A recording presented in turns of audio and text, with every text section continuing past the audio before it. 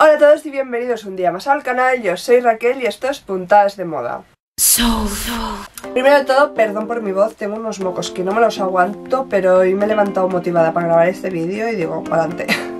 Y hoy no os vengo a traer un tutorial ni un do it yourself, sino que os vengo a hablar de una cosa que está en boca de muchos últimamente y a lo mejor hay alguno de vosotros que le puede interesar y que aún no sabe muy bien ni qué es, ni cómo subirse a esta ola, porque creo que es un concepto que es muy interesante y será, o deseo que sea, el futuro de la moda y es el slow fashion o moda sostenible acá en nuestro idioma. Y es ese tipo de consumo que se puede extrapolar a todos los niveles, lo que pasa es que yo vengo a hablarlo en el nivel de moda, en el que se es respetuoso con el medio ambiente y con las personas que rodea ese entorno. Que decir, es el comprar en marcas localizadas, eh, de pequeñas producciones, de mm, artesanas. Son tiendas en las que se valora el valor artístico de la pieza que estás comprando, que normalmente las calidades son buenas, que los patrones están trabajados, que no se han hecho masivamente, que se han hecho en talleres dentro de España o en tiendas de segunda mano donde a la prenda se le da una segunda, una tercera, una cuarta oportunidad y no generar residuos por generar. Este movimiento hace años que se tiene conciencia de ellos, mucha gente sabía lo que hay detrás del fast fashion, de la, de la moda de continuo cambio donde hemos comprado o compramos todos a día de hoy, pero se puso en el punto de mira en 2013 cuando ocurrió una desgracia en Bangladesh y es que un edificio donde se confecciona masivamente prendas de fast fashion eh, se derrumbó, juraría que murieron más de mil personas y allí se dio a conocer las malas condiciones del edificio, las malas condiciones en las que trabajaban eh, los trabajadores y si ya era algo que más o menos se sabía, entonces ya se puso el punto de mira en eso. Y diréis, ¿por qué os traigo yo esto ahora?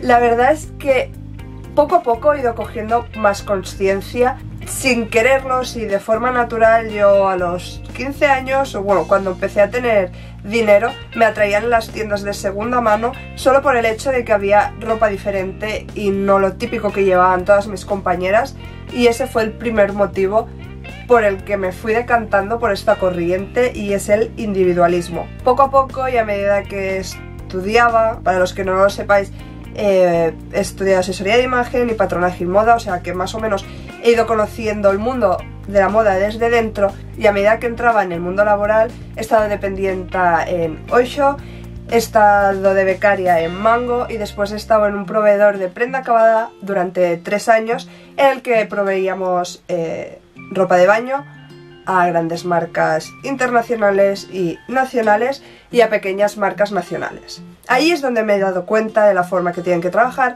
los grandes y la forma que tienen que trabajar los pequeños. Y sin duda me he posicionado hacia las marcas pequeñas. Si os traigo esto ahora es porque en el Instagram de Pezones Revueltos, que os dejo el link abajo y aquí veréis una captura súper mona, eh, empezó a hablar ella del fast fashion, del slow fashion. Ella es una artista que tiene tienda propia y ahora está dándolo todo para sacarla adelante y hablaba de la dieta de la moda rápida. Nos hacía reflexionar de lo aburridos que nos hemos vuelto todos vamos a tomar cervezas al mismo bar, todos comemos en las mismas cadenas de, comida, todos compramos los muebles en la misma tienda y todos nos vestimos en las mismas marcas. Nos hacía reflexionar del por qué hacemos eso, de que ya no damos valor a la artesanía, a lo bien hecho, a lo cuidado y nos decantábamos por la forma fácil. Mucha gente dirá que compran esas tiendas porque es barato, pero eso ya hablaremos después porque os voy a desmontar que eso no es verdad. Y del slow fashion podríamos destacar cuatro puntos importantes en los que podríamos resumir un poco este movimiento. El primero es el rechazo a las producciones masivas. No queremos apoyar a las grandes marcas que producen masivamente, que cada semana están renovando producto Intentamos rechazar eso y abogar por una moda sostenible, localizada, de pequeñas producciones que lo que estás comprando es casi exclusivo, está hecho con amor, tiene un valor artístico detrás y sobre todo está cuidado hasta el último detalle y las personas que están involucradas están en unas condiciones laborables normales. El segundo punto es relacionado con el primero es apoyar a la artesanía y al pequeño comercio porque si todos acabamos comprando en las mismas tiendas, en los centros comerciales, eh, las pequeñas tiendecillas, cucas que se le ocurran de nuestro barrio acabarán desapareciendo y simplemente nuestros barrios serán barrios dormitorios, iremos a dormir y poco más. El tercer punto es relacionado con un poco con el medio ambiente y es el comprar prendas de ropa en tiendas de segunda mano. En las tiendas de segunda mano lo que se le está dando a una prenda es una segunda oportunidad o una tercera, no sabemos por cuántas manos han pasado, pero es evitar crear un residuo para convertirlo en algo con vida que se le está dando otro uso y está cumpliendo una función en este planeta que es vestirnos. Y el cuarto punto del slow fashion es el reducir el consumo de ropa. Todos nosotros tenemos tropecientos mil tejanos dentro del armario que parecen iguales y es que nos los hemos comprado porque en rebajas eran baratos y mira, por si acaso, porque a mejor ahora es un poco más alto de tiro, ahora es un poco más bajo, ahora no sé qué. Son pequeños detalles que en verdad nadie de nosotros necesitamos y vale, yo soy la primera que me gusta ir renovando el armario, de ir cambiando, tener posibilidades de jugar con la ropa, de experimentar con el estilo. Es totalmente lícito, pero para ello no cal apostar por la ropa de fast fashion. Y estoy convencida que el punto más importante por el que la gente no llega a meterse en este movimiento de lleno es por el dinero. Está claro que las grandes marcas y no hablo de marcas rollo Chanel, Dior, las grandes marcas, sino las marcas importantes de, que tenemos a pie de calle en las que compramos todos nosotros o hemos comprado siempre, está claro que el precio que tienen es súper competitivo para nuestros bolsillos, pero os puedo asegurar que el slow fashion no es caro. Como todo en la vida puedes ir a comprar una prenda de autor de edición súper limitada que está hecho con un cariño tremendo, con una calidad eh, que te mueres y eso va a ser caro, está claro, como si compras un buen sofá, como si compras un buen cuadro o quien se va a comer a un buen restaurante.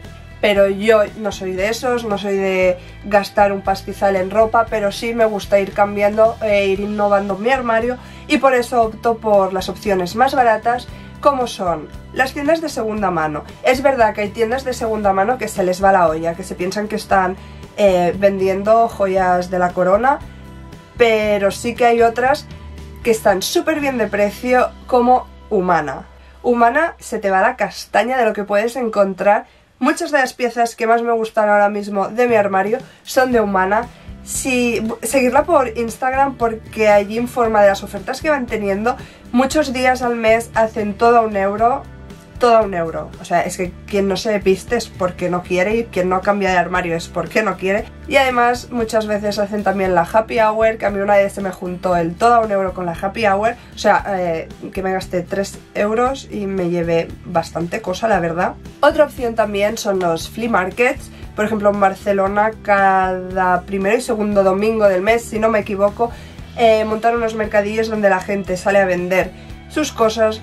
Normalmente es ropa y se puede encontrar de todo a todo tipo de precios, pero yo me he comprado chupas de cuero por 3 euros que se os va la castaña, de verdad. Y también en Barcelona organizan cada 6 meses mercadillos de intercambio de ropa, donde tú llevas la ropa que no te interesa te dan unos puntos por ella y el día del mercadillo la ropa que te llevas, en cambio de cambiarla por dinero, la cambias por puntos.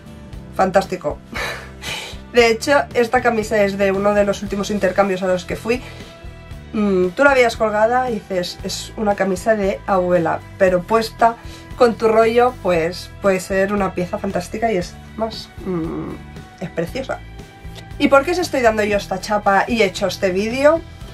Es para que os suméis también a esta ola del slow fashion, pero no solo para que sepáis dónde comprar o cómo hacerlo, sino para que agudicéis el ojo y a la hora de ir a las tiendas de segunda mano ya no compréis porque os sienta bien también es la prenda en sí acabada de que no la tenéis que tocar, sino porque a veces se encuentran tejidos que son una pasada o piezas de ropa que retocándolas un poco lo podéis convertir en algo completamente nuevo y tenéis dos por uno, estáis eh, apoyando la ropa sostenible y le dais a la imaginación y nos ponemos creativos y creamos prendas que solo tendremos nosotros.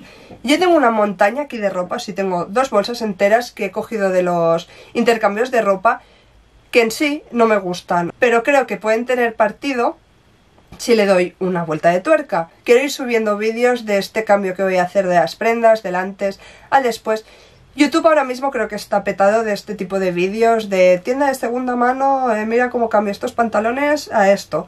Pues yo quiero hacer un poco esto porque es algo que llevo haciendo siempre y me molaría enseñarlo a vosotros. Decidme en comentarios si os mola, la verdad. Pero yo creo que puede ser interesante y ahora os enseñaré un poco lo que tengo porque os morís. He aquí mi super cama, aquí tengo una de las bolsas del intercambio Mirad, por ejemplo esto. Esto está en la sección de tío, que también os digo que busquéis no solamente en la sección de mujer, porque en la de hombre se pueden encontrar cosas y normalmente son más grandes, así que tenemos más tela para investigar y crear. Que a lo mejor me lo pongo tal cual, pero no sé, que tiene un mogollón de posibilidades. Ya sea solo en la espalda, es como un lienzo en blanco esto. Mola. Después encontré esta camisa que la tela me mola un montón, me parece pues diferente, que al fin y al cabo es lo que queremos vistiendo en segunda mano. Después encontré esto que es una camisa de abuela total, que pensaba que me quedaría como la que llevo en el vídeo, pero es más rara. Tiene un escote extraño, de abueli. Tiene esto en el escote, pero el tejido me mola un montón, el estampado. Y por último unos pantalones de hombre grandotes, grandotes, porque quiero hacer un pantalón corto de estilo bolsa de papel, de estos que tienen toda la cintura arrugada. Y tengo más, ¿eh? Aquí tengo otra bolsa. Eh, hola, piqué.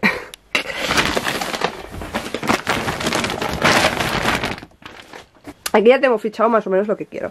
Bueno, estos son unos pantalones que los tengo que arreglar eh, la cintura porque me vienen grandes, así que a lo mejor también os hago un vídeo de cómo ajustar pantalones. Un vestido de los típicos, me recuerdan a las tribus negras, que me flipan esos tejidos, me parecen lo más. Este ya lo tengo fichado, es como una bata. Voy a hacer un vestidillo, creo. Otra camisa de abuela, que me parece lo más. A mi madre le horroriza, pero... Eh, hola, este tejido me flipa. Ya le tengo echado el ojo y sé lo que quiero hacer. Y después dos pantalones blancos que pensaba que me iban a valer, pero no.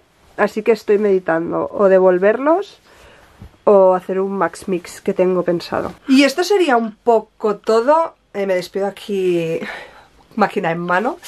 Em, tengo un montón de vídeos pensados. Ahora mm, estoy en el paro y tengo más tiempo. Eh, de verdad deseo ponerme a ello y sacarlo, pero bueno, eh, sé cómo soy y no puedo prometer nada.